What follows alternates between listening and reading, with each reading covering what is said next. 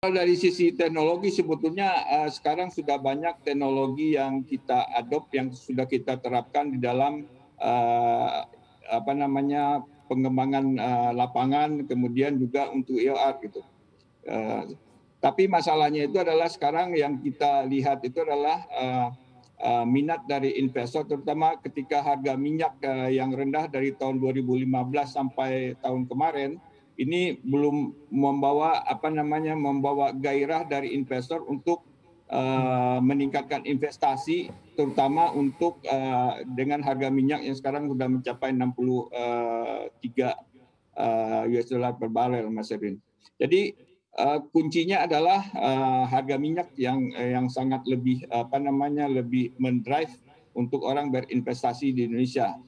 Ya, terutama juga uh, minat investasi untuk melakukan eksplorasi gitu. Ya.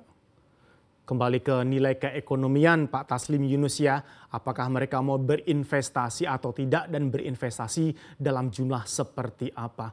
Apa yang perlu disampaikan oleh SKK Migas Pak mengenai tadi optimisme dan menjaga confidence bahwa target satu juta barel per hari ini memungkinkan. Tetapi kalau situasinya seperti ini, bagaimana SKK Migas juga bisa membawa kita semua bahwa keyakinan tadi patut dipertahankan? Ya, uh, salah satu yang kita lakukan adalah untuk memberikan uh, uh, IRR dari proyek itu di atas 15% sehingga menarik buat investor untuk mengembangkan lapangan ataupun uh, melakukan terobosan-terobosan dalam meningkatkan produksi Mas Erwin.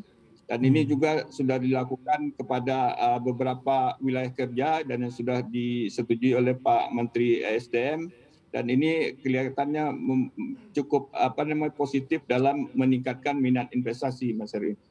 Iya.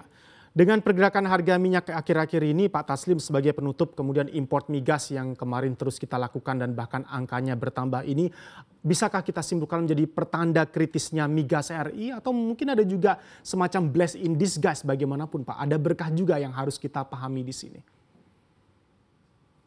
Ya, secara keseluruhan memang ini menjadi apa namanya uh, uh, masalah buat kita karena uh, kebutuhan kita sangat besar sementara produksi kita sangat uh, relatif lebih lebih sedikit gitu. Jadi yeah. kita tetap mengimpor yang menggerus devisa. Tetapi dengan beberapa upaya yang dilakukan pemerintah untuk meningkatkan daya saing investasi, kemudian juga memperbaiki fiskal yang sekarang sudah mulai diberikan oleh pemerintah, ini akan memberikan harapan yang baru buat kita untuk optimis dalam meningkatkan produksi ke depan, Mas Erwin. Install aplikasi kami CNBC Indonesia di Google Play Store dan App Store untuk mengikuti perkembangan terkini berita bisnis dan ekonomi.